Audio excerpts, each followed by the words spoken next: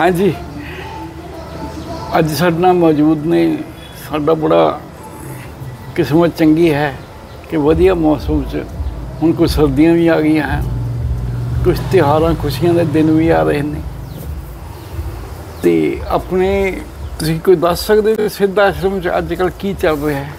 ਸਿੱਧਾ ਆਸ਼ਰਮ ਦੇ ਵਿੱਚ ਸ਼ਿਵ ਮਹਾਪੁਰਾਣ ਰੱਖਿਆ ਹੋਇਆ ਜੀ ਉਹਨਾਂ ਦਾ ਪਾਠ ਚੱਲ ਰਿਹਾ। ਠੀਕ ਹੈ। ਹਾਂ। ਇਹ ਕਦੋਂ ਤੱਕ ਚੱਲਦਾ ਹੁੰਦਾ ਜੀ। ਇਹ ਚੱਲੂਗਾ ਹੀ ਇਹ ਡੇਢ ਮਹੀਨਾ ਹੋਰ ਚੱਲੂਗਾ ਜੀ। ਇਹ ਡੇਢ ਮਹੀਨਾ ਹੋ। ਚੱਲੂਗਾ। ਉਹ ਫਿਰ ਸੰਗਤਾਂ ਵੀ ਆਉਂਦੀਆਂ ਆਪਣਾ। ਹਾਂ ਸੰਗਤਾਂ ਆਉਂਦੀਆਂ ਹੀ ਆਪਣਾ। ਲਾਭ ਉਠਾਉਂਦੀਆਂ। ਲਾਭ ਉਠਾਉਂਦੀਆਂ ਸੁਣ ਕੇ ਹੀ। ਬਾਕੀ ਵੀ ਹੁਣ ਤਿਉਹਾਰਾਂ ਦੇ ਦਿਨ ਆ ਗਏ ਜੀ। ਹਾਂ ਹੁਣ ਤਿਉਹਾਰਾਂ ਦੇ ਦਿਨ ਆ ਗਏ। ਉਹ ਸ਼ਰਾਧ ਜਦੋਂ ਮੁੱਕਣਗੇ ਹਾਂਜੀ। ਉਸ ਤੋਂ ਬਾਅਦ ਕਹਿੰਦੇ ਜੀ ਕਿ ਹਾਂ ਫਿਰ ਨਰਾਤਿਆਂ 'ਚ ਆਪਾਂ ਦੁਰਗਾ ਪੂਜਾ ਕਰਾਂਗੇ ਜੀ। ਠੀਕ ਹੈ ਜੀ। ਹਾਂ। ਨਵ ਦੁਰਗਾ ਪੂਜਾ ਹੋਊਗੀ ਫਿਰ ਹੀ ਠੀਕ ਉਸ ਤੋਂ ਬਾਅਦ ਫਿਰ ਦੀਵਾਲੀ ਆ ਜਾਣੀ ਹੈ। ਦੀਵਾਲੀ। ਰੋਸ਼ਨੀ ਦਾ ਤਿਉਹਾਰ ਹੈ ਜੀ। ਦਾ ਤਿਉਹਾਰ ਆ ਜਾਣਾ ਜੀ। ਖੁਸ਼ੀਆਂ ਦਾ ਤਿਉਹਾਰ ਹੈ ਜੀ। ਮਤਲਬ ਇਹਨਾਂ ਇਕਨੋਮੀ ਬਹੁਤ ਹਿਲਦੀ ਹੈ ਜੀ ਮੁਲਕ ਦੀ। ਹਾਂ ਉਹ ਤੋਂ ਪਹਿਲਾਂ ਕਰਵਾ ਚੌਥ ਆ ਜਾਣਾ ਜੀ ਪੂਰਾ। ਫਿਰ ਕਰਵਾ ਚੌਥ ਹੋਇਆ ਤਿਉਹਾਰਾਂ ਨੇ। ਮਤਲਬ ਪੂਰਾ ਬਸ ਪੂਰਾ ਮਹੀਨਾ ਜਿਹੜਾ ਪੂਰਾ ਤਿਉਹਾਰਾਂ ਦਾ ਹੈ। ਉਸ ਤੋਂ ਅੱਗੇ ਵੀ ਬਹੁਤ ਤਿਉਹਾਰ ਆ ਜਾਂਦੇ ਜੀ। ਹਾਂ ਮਹੀਨੇ 'ਚ ਕਾਫੀ ਤਿਉਹਾਰ ਆ ਰਹੇ ਕਿਉਂਕਿ ਆਖਰ ਸਰਦੀਆਂ ਦੇ ਦਿਨ ਹੀ ਹੁੰਦੇ ਜੀ। ਹਾਂ। ਕਿ ਲੋਕੀ ਅੱਗੇ ਲੋਹੜੀ ਆ ਗਰਮੀ ਤੋਂ ਤੰਗ ਆਏ ਹੁੰਦੇ। ਜਦੋਂ ਤੱਕ ਜ਼ਿਆਦਾ ਗਰਮ ਸਰਦੀ ਨਹੀਂ ਪੈਂਦੀ ਹਾਂ। ਉਦੋਂ ਤੱਕ ਤਾਂ ਲੋਕੀ ਆਨੰਦ ਲੈਂਦੇ ਹੀ ਹੈ ਜੀ। ਹਾਂਜੀ। ਧੁੱਪ ਦਾ ਵੀ ਆਨੰਦ ਹੈ ਧੁੱਪ ਦਾ ਆਪਣਾ ਆਨੰਦ ਹੈ ਜੀ। ਨਾ ਫੇ ਧੂਣੀਆਂ ਲੱਗਣਗੀਆਂ ਲੋਹੜੀ ਦਾ ਆਨੰਦ ਲੈਣਗੇ। ਫਿਰ ਲੋਹੜੀ ਦਾ ਆ ਜਾਂਦੀ ਹਾਂ ਜਦੋਂ ਮੈਂ ਮਹੀਨੇ ਆਨੰਦਾਂ ਦੇ ਸ਼ੁਰੂ ਹੋ ਗਏ ਆਨੰਦਾਂ ਦੇ ਮਹੀਨੇ। ਸ਼ੁਰੂ ਹੋ ਗਏ। ਇਹ ਜਿਹੜੇ ਦੁੱਖ ਭਰੇ ਦਿਨ ਬੀਤੇ ਦੇ ਆਪਾਂ ਕਹਿੰਦੇ ਆ ਚਾਹੇ ਗਰਮੀ ਦਾ ਆਪਣਾ ਫਾਇਦਾ ਹੈ ਜੀ। ਗਰਮੀ ਦਾ ਆਪਣਾ ਗਰਮੀ ਦਾ ਆਪਣਾ ਫਾਇਦਾ ਹੈ। ਆਪਣਾ ਲੁਤਫ ਵੀ ਹੈ ਜੀ। ਆਪਾਂ ਆਈਸਕ੍ਰੀਮ ਵੀ ਖਾਣੀ ਹੁੰਦੀ ਕੁਲਫੀਆਂ ਵੀ ਖਾਣੀਆਂ ਹੁੰਦੀਆਂ। ਸਹੀ ਗੱਲ ਚਲੋ ਉਸ ਤੋਂ ਬਾਅਦ ਹੁਣ ਸਰਦੀਆਂ ਹੈ। ਸਰਦੀਆਂ 'ਚ ਕਿੰਨਾ ਕੁਝ ਹੁੰਦਾ ਜੀ। ਸਰਦੀਆਂ 'ਚ ਹੁਣ ਕਾਫੀ ਵੀ ਸਰਦੀਆਂ 'ਚ ਜੋ ਮਰਜ਼ੀ ਖਾਈ ਜਾਓ ਜੀ ਸਭ ਹਜਮ। ਸਭ ਹਜਮ ਸਰਦੀਆਂ ਦਾ ਇਹੀ ਫਾਇਦਾ ਹੈ ਕਿ ਜੋ ਖਾਓ ਸਭ ਹਜਮ। ਗਾਜਰ ਪਾਕ ਕਿੰਨਾ ਵਧੀਆ ਲੱਗਦਾ ਜੀ। ਸਰਦੀ ਬਹੁਤ ਬਹੁਤ ਤੁਹਾਡਾ ਧੰਨਵਾਦ ਜੀ। ਸਰਦੀਆਂ ਦੀਆਂ ਆਪਣੀਆਂ ਡਿਸ਼ਾਂ ਹੀ ਬਾਕੀ ਇੱਥੇ ਨਾ ਆਪਾਂ ਆਸ਼ਰਮ ਦੇ ਵਿੱਚ ਧਿਆਨ ਦੀਆਂ ਕਲਾਸਾਂ ਚੱਲਦੀਆਂ ਜੀ। ਠੀਕ ਹੈ ਠੀਕ ਹੈ। ਹਾਂ। ਸਵੇਰ ਧਿਆਨ ਕਰਾਈਦਾ ਜੀ। ਠੀਕ ਹੈ। ਉਹਦਾ ਸੰਗਤ ਆ ਕੇ ਆਨੰਦ ਲੈਂਦੀ ਹੈ।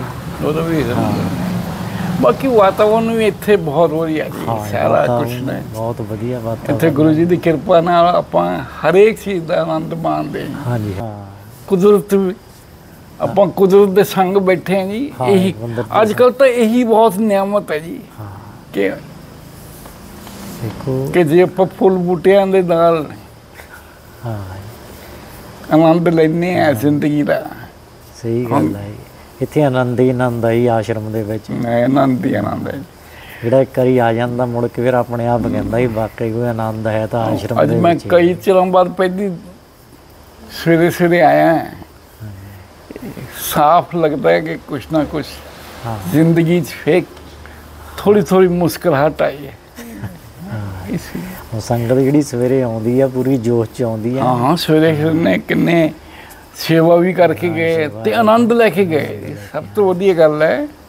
ਨਾਲੇ ਤਾਂ ਧਿਆਨ ਦਾ ਆਨੰਦ ਲਿਆ ਹੀ ਨਾਲੇ ਵੈਸੇ ਆਪਣਾ ਉਹਨਾਂ ਨੇ ਸਾਫ਼ ਸਫਾਈਆ ਕਰਕੇ ਸਾਰਾ ਆਸ਼ਰਮ ਦਾ ਸਾਫ਼ ਸੇਵਾ ਦਾ ਸਫਾਈਆ ਆਨੰਦ ਵੀ ਵੀ ਜ਼ਰੂਰੀ ਲਿਆ ਹੈ ਹੈ। ਸੇਵਾ ਦਾ ਇਹੀ ਇਹ ਬਹੁਤ ਕੰਮ। ਆਸ਼ਰਮਾਂ 'ਚ ਮੇਨ ਕੰਮ ਸੇਵਾ ਦਾ ਹੀ ਹੁੰਦਾ ਹੈ। ਸੇਵਾ ਦਾ ਇਹਦਾ ਵੀ ਆਨੰਦ ਲੈਂਦੇ ਲੋਕੀ ਅੱਜ ਕੱਲ ਜ਼ਿੰਦਗੀ ਹੋਰ ਹੀ ਤਰ੍ਹਾਂ ਹੋ ਗਈ ਜੀ ਵੈਸੇ ਕਿ ਇੰਨਾ ਕੰਪਲੈਕਸ ਤੁਹਾਨੂੰ ਪਤਾ ਹੀ ਹੈ ਜੀ ਕੰਪਲੈਕਸ ਸਿਸਟਮ ਕਿੰਨਾ ਹੋ ਚੁੱਕਿਆ ਆਪਣੇ ਇਹਦੇ ਲਈ ਹੁਣ ਬਹੁਤ ਧਿਆਨ ਦੀ ਆਪਾਂ ਨੂੰ ਜ਼ਰੂਰਤ ਹੈ ਧਿਆਨ ਕਰਨਾ ਚਾਹੀਦਾ ਆਪਾਂ ਨਾ ਆਸ਼ਰਮ ਧਿਆਨ ਦੇ ਲਈ ਬਹੁਤ ਵਧੀਆ ਬਣਿਆ ਹੋਇਆ ਹੌਲੀ ਹੌਲੀ ਸੰਗਤ ਨੂੰ ਪਤਾ ਲੱਗੂਗਾ ਜਿਹੜੀ ਵੀ ਸੰਗਤ ਆਉਂਦੀ ਹੈ ਇੱਕ ਵਾਰੀ ਧਿਆਨ ਕਰਦੀ ਹੈ ਨਿਹਾਲ ਹੋ ਕੇ ਜਾਂਦੀ ਹੈ। ਨਿਹਾਲ ਹੋ ਕੇ ਜਾਂਦੇ ਆ। ਕਿਉਂਕਿ ਧਿਆਨ ਇੱਕ ਐਸੀ ਵਿਧੀ ਹੈ ਜੀ ਔਰ ਖੰਨੇ ਦੇ ਵਿੱਚ ਇਹੋ ਜੀ ਕੋਈ ਜਗ੍ਹਾ ਹੈ ਨਹੀਂ ਸੀਗੀ ਜਿੱਥੇ ਧਿਆਨ ਵਗੈਰਾ ਕਰ ਸਕੀਏ। ਹੁਣ ਇੱਕ ਇੰਨਾ ਵਧੀਆ ਸੈਂਟਰ ਇੱਥੇ ਖੁੱਲ ਗਿਆ ਆਪਣਾ ਆਸ਼ਰਮ। ਜਿਵੇਂ ਮਰਜ਼ੀ ਬੈਠ ਕੇ ਧਿਆਨ ਕਰੋ ਜਦ ਮਰਜ਼ੀ ਆਓ। ਜਦੋਂ ਮਰਜ਼ੀ ਆਓ ਉਹਦਾ ਧਿਆਨ ਕਰੋ। ਹੁਣ ਦੇਖੋ ਇਹ ਜ਼ਿੰਦਗੀ ਹੈ। ਹਾਂ। ਇੱਕ ਕਲਾ ਹੈ। ਹਰੇਕ ਦਾ ਮਨ ਕਰਦਾ ਕਿ ਮੈਂ ਤਰੱਕੀ ਕਰਾਂ। ਹਾਂਜੀ ਹਾਂਜੀ। ਪਰ ਤਰੱਕੀ ਦਾ ਵੀ ਕੋਈ ਲਿਮਟ ਹੁੰਦੀ ਹੈ। ਮੰਜ਼ਿਲ ਵੀ ਹੁੰਦੀ ਹੈ ਲਿਮਟ ਵੀ ਹੁੰਦੀ ਹੈ। ਉਸ ਤੋਂ ਬਾਅਦ ਫਿਰ ਜਿਹੜੀ ਦੌੜ ਚੱਲਦੀ ਹੈ ਨਾ ਇਹ ਦੌੜ ਬੜਾ ਮੁਸ਼ਕਲ ਕਰਦੀ ਹੈ। ਇਹ ਮੈਂਟਲ ਸੈਟਅਪ ਨੂੰ ਹਿਲਾ ਦਿੰਦੀ ਹੁਣ ਜੇ ਆਸ਼ਰਮ ਹੈ ਆਪਣਾ ਇਹ ਮੈਂਟਲ ਜਿਹੜੀ ਦੌੜ ਨੂੰ ਹੈ ਰੋਕਣ ਦੀ ਕੋਸ਼ਿਸ਼ ਕਰਦਾ ਕਿ ਕਿਤੇ ਤੱਕ ਉਹ ਰੁਕੋ। ਹਾਂ। ਇਹ ਨਹੀਂ ਕਿ ਕੰਮਕਾਰ ਛੱਡੋ। ਕੰਮਕਾਰ ਵੀ ਬਹੁਤ ਜ਼ਰੂਰੀ ਨੇ। ਪਰ ਕਿਤੇ ਨਾ ਕਿਤੇ ਕੋਈ ਲੈਵਲ ਆਪਣੇ ਆਪ ਨੂੰ ਮੇਨਟੇਨ ਕਰੋ। ਤਰੱਕੀ ਤਾਂ ਬਹੁਤ ਹੀ ਜਿੰਨਾ ਭੱਜੋਗੇ ਬਹਾਵ ਦੇ ਵਿੱਚ ਤੁਹਾਨੂੰ ਮੁਸ਼ਕਲ ਹੀ ਹੋਊਗੀ। ਬਸ ਦੁਨੀਆ ਭੱਜੀ ਆ ਰਹੀ ਹੈ ਭੱਜੀ ਆ ਰਹੀ ਹੈ ਰੁਕਣ ਦਾ ਨਾਂ ਨਹੀਂ ਲੈ ਰਹੀ। ਰੁਕਣ ਦਾ ਨਾਮ ਵੀ ਚਾਹੀਦਾ ਜੀ। ਹੁਣ ਇਹ ਆਸ਼ਰਮ ਆਪਣਾ ਜਿਹੜਾ ਬਣਿਆ ਇੱਕ ਰੋਕਣ ਲਈ ਬਣਿਆ ਕਰੀ ਆ ਕਿ ਰੋਕ ਕੇ ਤਾਂ ਦੇਖੋ ਇੱਕ ਵਾਰੀ ਕੀ ਆਨੰਦ ਕੀ ਆਨੰਦ ਹੈ ਇੱਕ ਵਾਰੀ ਉਹ ਤੁਹਾਨੂੰ ਪਤਾ ਲੱਗੇ ਕਿ ਤੁਸੀਂ ਕੀ ਜ਼ਿੰਦਗੀ 'ਚ ਕਰ ਰਹੇ ਆ ਕੀ ਪਾ ਰਹੇ ਆ ਕੀ ਖੋ ਰਹੇ ਆ। ਕਹਿੰਦਾ ਅਸੀਂ ਭੱਜੀ ਆ ਰਹੇ ਆ ਭੱਜੀ ਆ ਰਹੇ ਆ। ਜ਼ਿਆਦਾ ਮਾਇਆ ਇਕੱਠੀ ਕਰਨੀ ਵੀ ਕੋਈ ਕਲਾ ਨਹੀਂ ਹੈ ਜਾਂ ਉਹ ਐਂਡ ਨਹੀਂ ਹੈ। ਉਹਦੇ ਨਾਲ ਖੁਸ਼ੀ ਨਹੀਂ ਮਿਲ ਸਕਦੀ ਹਾਂ। ਮਾਇਆ ਇਕੱਠੀ ਕਰ ਕਰਕੇ ਰੱਖੀ ਜਾਂਦੇ ਹੋ ਮਾਇਆ ਦਾ ਆਨੰਦ ਤਾਂ ਲੈ ਹੀ ਨਹੀਂ ਰਹੀ। ਆਨੰਦ ਲਾਏ ਜਾਂ ਤਾਂ ਹੋਏ ਨਾ ਆਨੰਦ ਵੀ ਲਓ। ਆਨੰਦ ਵੀ ਲਓ ਹਾਂ। ਦੇਖੋ ਹੁਣ ਦੁਨੀਆ ਭੱਜੀ ਜਾਂਦੀ ਹੈ ਭੱਜੀ ਜਾਂਦੀ ਆ ਪੈਸਾ ਇਕੱਠਾ ਕਰੀ ਜਾਂਦੀ ਹੈ। ਲੇਕਿਨ ਪੈਸਾ ਇਕੱਠਾ ਕਰਨ ਤੋਂ ਬਾਅਦ ਇੱਕ ਸਮਾਂ ਆਉਂਦਾ ਕਿ ਬੰਦਾ ਕਹਿੰਦਾ ਜੀ ਬਸ ਹੁਣ ਮੈਨੂੰ ਸਕੂਨ ਚਾਹੀਦਾ। ਇੱਕ ਸਮਾਂ ਆਉਂਦਾ ਫਿਰ ਬੰਦਾ ਕਹਿੰਦਾ ਮੈਨੂੰ ਸਕੂਨ ਚਾਹੀਦਾ ਸਕੂਨ ਪੈਸੇ ਨਾਲ ਤਾਂ ਮਿਲਦਾ ਨਹੀਂ। ਸਕੂਨ ਲੈਣ ਲਈ ਤਾਂ ਫਿਰ ਆਸ਼ਰਮ ਜਾਣਾ ਪਊਗਾ ਧਿਆਨ ਕਰਨਾ ਪਊਗਾ। ਫਿਰ ਉਹਨਾਂ ਨੂੰ ਪਤਾ ਲੱਗੂ ਕਿ ਮੈਂ ਭਾਈ ਤੇ ਵਾਕਈ ਆਪਣੀ ਜ਼ਿੰਦਗੀ ਠਹਿਰਾਵ ਲਿਆਣਾ ਲਿਆ। ਠਹਿਰਾਵ ਬਿਨਾ ਸਕੂਨ। ਵੀ ਨਹੀਂ ਆ ਸਕਦਾ ਜੀ। ਸਕੂਨ ਲੈਣ ਦੇ ਲਈ ਆਪਾਂ ਨੂੰ ਧਿਆਨ ਕਰਨਾ ਪਊਗਾ ਧਿਆਨ 'ਚ ਬੈਠਣਾ ਪਊਗਾ। ਆਪਣੀ ਜ਼ਿੰਦਗੀ ਹੈ ਜੀ। ਹਾਂਜੀ। ਜ਼ਿੰਦਗੀ 'ਚ ਸਟਰਗਲ ਵੀ ਹੈ। ਹਾਂ ਸਟਰਗਲ ਉਹਦੇ ਲਈ ਆਪਾਂ ਭੱਜ ਨੱਠ ਵੀ ਕਰਦੇ। ਹਾਂ ਬਹੁਤ ਪਰ ਕੋਈ ਭੱਜ ਨੱਠ ਨੂੰ ਰੋਕਣ ਲਈ ਕੋਈ ਜਗ੍ਹਾ ਵੀ ਐਸੀ ਚਾਹੀਦੀ ਹੈ ਜਿੱਥੇ ਸਾਨੂੰ ਸਕੂਨ ਮਿਲ ਸਕੇ। ਹੁਣ ਆਪਾਂ ਸਕੂਨ ਲੱਭਣ ਦੇ ਲਈ ਜ਼ਿਆਦਾ ਤੋਂ ਜ਼ਿਆਦਾ ਬੰਦਾ ਕੀ ਕਰਦਾ ਹੈ ਜੀ? ਧਾਰਮਿਕ ਯਾਤਰਾ ਤੇ ਚਲੇ ਜਾਂਦਾ। ਹਾਂਜੀ ਹਾਂਜੀ। ਕੋਈ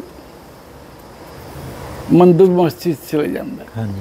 ਪਰ ਉਹਦੇ ਲਈ ਵੀ ਕਿ ਮੰਦਰ ਮਸਜਿਦ ਤੱਕ ਜਾਣ ਲਈ ਵੀ ਇੱਕ ਰਸਤਾ ਚਾਹੀਦਾ ਹੁੰਦਾ ਉੱਥੇ ਵੀ ਹੁਣ ਜਿਹੜੀਆਂ ਕੁਰੀਤੀਆਂ ਆਪਾਂ ਸਮਾਜ 'ਚ ਦੇਖਦੇ ਹਾਂ ਉਹ ਧਾਰਮਿਕ ਸਥਲਾਂ ਦੇ ਵਿੱਚ ਵੀ ਆ ਚੁੱਕੇ ਉੱਥੇ ਵੀ ਕੋਈ ਸਕੂਨ ਨਹੀਂ ਲੱਭਦਾ। ਹਾਂ। ਸਾਨੂੰ ਤਾਂ ਹੁਣ ਇਹ ਜਿਹੜਾ ਆਸ਼ਰਮ ਹੈ ਇੱਕ ਸਕੂਨ ਦੀ ਵਿਧੀ ਬਣਿਆ ਹੈ ਕਿ ਸਾਨੂੰ ਇੱਥੇ ਆ ਕੇ ਸਕੂਨ ਮਿਲਦਾ ਹੈ। ਇਹ ਕੁਝ ਸ਼ਹਿਰੋਂ ਪਰੇ ਹਟ ਕੇ ਵੀ ਹੈ। ਹਾਂ। ਕਿ ਇੱਥੇ ਨਾ ਕੋਈ ਜ਼ਿਆਦਾ ਰਸ਼ ਹੈ ਸ਼ਾਂਤ ਵਾਤਾਵਰਨ ਸ਼ਾਂਤ ਵਾਤਾਵਰਨ ਹੈ ਉਹਦੇ ਉਹਦੇ ਨਾਲ ਸਾਨੂੰ ਸਕੂਨ ਦੇ ਵਿੱਚ ਆਪਣਾ ਵਾਧਾ ਹੁੰਦਾ ਹੈ ਠੀਕ ਹੈ ਜੀ ਉਪਦੇਸ਼ ਦੇਣੇ ਬਹੁਤ ਔਖੇ। ਚਲੋ ਅੱਜ ਫਿਰ ਅੱਛੀ ਰਹੀ ਗੱਲਬਾਤ ਹਾਂਜੀ ਹਾਂਜੀ ਬਹੁਤ ਆਪਣੀ। ਜ਼ਿੰਦਗੀ 'ਚ। ਹਾਂਜੀ ਹਾਂਜੀ ਕਦੀ ਨਾ ਕਦੀ ਤੇ ਇਹ ਸਮਾਂ ਆਣਾ ਹੀ ਚਾਹੀਦਾ ਜੀ